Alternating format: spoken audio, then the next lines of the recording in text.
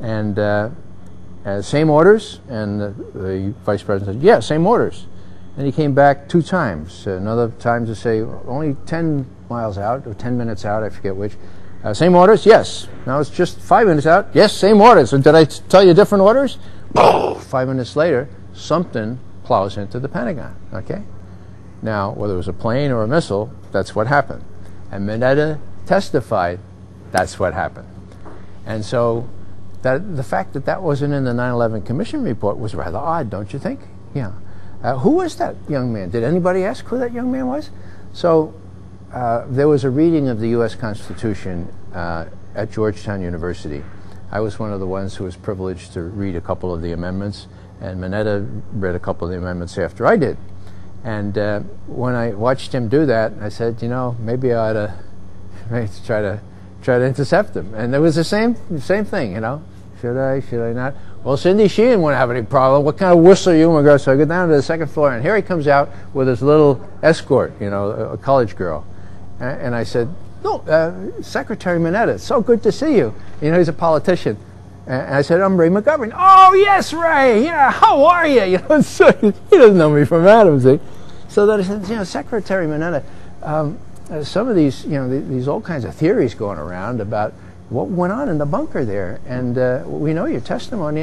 How do you explain what was going on? Who was that man that kept coming in? Did he have a uniform on? No, no, no, he was a civilian. Uh, I said, well, how do you figure, you know, what, what happened there? He says, well, that plane in Pennsylvania, you know. The, I said, no, no, this, that, that was an hour later, the secretary. You already testified. This had to do with the one that hit the Pentagon. And so how do you, so well, you know, that plane in, in, in, Pennsylvania, we never figured, I said, no, no, it's not Pennsylvania. So either he's getting a little, I don't know, some senility in there, or maybe he's just, you know, real clever and keeping his mouth shut about that. But for eight mon- minutes of, of interrogation without any waterboarding or anything like that, uh, I couldn't get anything out of him. And next thing I know, I'm landing in San Jose, California at the Norm Mineta Airport. And so I guess if you keep your mouth shut, they'll, they'll uh, name an airport after well, you. did resign. Well, I think that uh, the uh, 9 11 truth movement is something to be applauded. That the reason that uh, it's so necessary is that there are so many unanswered questions, and uh, those questions are unanswered uh, because this administration won't answer them. I mean, it's that simple, okay? Now, if they come through with, with the answers, there wouldn't be all these theories, but they don't. Okay, now, now why don't they? Well, uh, they have have something to cover up, and the 9/11 Commission, of course, was a master cover-up. We know that. I mean, he, I can't believe Hamilton and, and Kean saying, "Oh gosh, why didn't they tell us that that George Tenet uh, sort of took Condoleezza Rice on the 10th of July and said you got to do something about this planes?" You know, why didn't they tell? Us? You know, there's a lot they didn't tell us. Gosh, you know. Well, give me a break, you know. So the 9/11 Commission was a cover-up. Question is what it was covering up.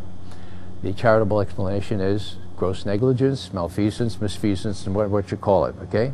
Whether it was something more sinister, you know, am I prepared to believe that Dick Cheney would be capable of knowing about this kind of attack on the Pentagon, for example, and allowing it to happen? Well, from what I know about Dick Cheney, yeah, I'd be all too ready to believe that. If he can torture people and all that kind of stuff, you know, you know, if he could publicly appeal for, for the right to torture, then he's probably capable of that. But I'm a you know, first and foremost, an intelligence professional. I have to stick to the evidence as it pertains here. And I have to be careful not to let this kind of impression or my emotional reaction to this color my thinking on these facts. And I just haven't had the time that my good friend uh, David uh, Ray Griffin has had uh, to look into this. I applaud his work. I think it stands up to close scrutiny. I'm just not there yet because I haven't had a chance to explore the, evidence myself. And for many of the theories that are adduced, not, not only by David Ray Griffin, but others, sometimes there are still more questions that come up that are unanswered. And so I, I can't let myself be guilty of what I accuse others of, that is, cherry picking the evidence. And so that's where I am. It's not a real comfortable position to be in. I ask people to understand that. I think in the next couple of months I may have a chance to have some time to, to, to read, read more about it and look at some of these tapes that people have given me and I just haven't had time to look at. Well, I would say this, that there's uh, one big elephant in the living room, It's uh, never asked about, and people don't like to put it on any video or anything like that, but it is the relationship between the United States of America and the State of Israel. It's the fly in the ointment. It's gotten, into, uh, gotten us into a peck of trouble in the Middle East. It's got historic, historical antecedents. It's all kind of, you can, you can parse it, but this president, almost six years ago, reversed a constant policy over four decades whereby we tried to be an honest broker, where we tried to be an intermediary to try to get some rights for the Palestinians while securing the existence of Israel within secure and internationally recognized borders. He reversed that. At the very first NSC meeting, we know this because um, uh, the Secretary of the Treasury, uh, Paul O'Neill, was there and he wrote it in his book. And uh, what the president said is, uh, first thing he said, okay, uh, we know who our friends are in the Middle East. No more of this honest, honest broker stuff. We're going to give Ariel Sharon his head. Anybody know Ariel Sharon? And Powell raised his hand. Yeah, I, I know him.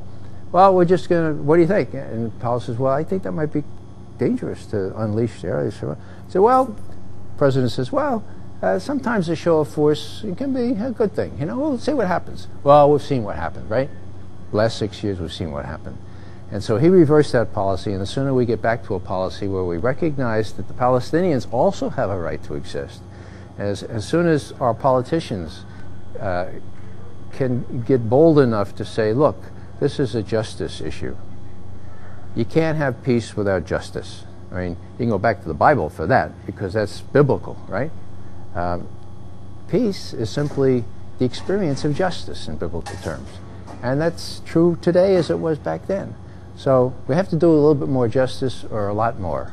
And uh, once we do that, once we grapple with this, uh, with this very knotty problem and uh, show that we're willing to recognize the rights of the Palestinians as well as the Israelis and not just give lip service to them, then there's some hope for a movement in the Middle East, and there's some hope that we could address the other grievances that Palestinians and other Muslims and Arabs feel uh, against our policies because it's not that they hate our freedom, it's not that they hate our democracy, they hate our policies.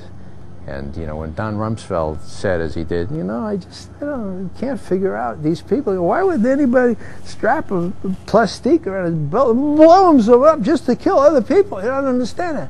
Well, all he needs to do, all he needs to do, is look at Al Jazeera one night, okay? And what will he see? He'll see helicopter gunships, he'll see fighter bombers, he'll see tanks, he'll see bulldozers made in Peoria, all made in America, wreaking havoc on the West Bank and now again in Gaza. That's what they see. And there are 1.3 billion Muslims out there, and they're not going to let us do that much longer. And they're certainly not going to let us prevail in Iraq.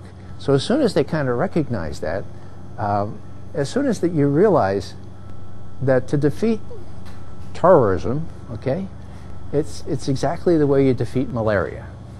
Now, with malaria, you follow the mosquitoes back to where they breed, right? Okay. And then when you find the swamp, then you set up sharpshooters around the swamp and you try to shoot all the mosquitoes as they leave the swamp, right? Not right, not right, okay? And so it is with terrorism. You find out what swamp breeds these grievances, and you don't try to shoot all the terrorists as they come out of the swamp. You drain the swamp. To drain the swamp of the legit legitimate grievances that uh, the Arabs, the Muslims, the Palestinians feel.